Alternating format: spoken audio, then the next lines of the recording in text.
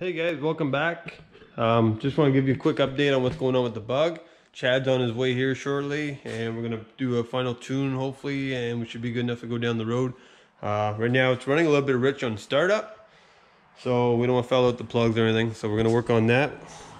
Um, once we can go down the road nice and straight, we'll work on the firewall and then the cosmetics and all that. But right now, that's uh, minor detail. Like obviously, gonna clean this up, put a better cut in it um, still got quite a bit to do, but for drivability, we should be almost ready to go down the road. Uh, we're gonna put in probably another passenger seat, got another Kirkey seat laying around.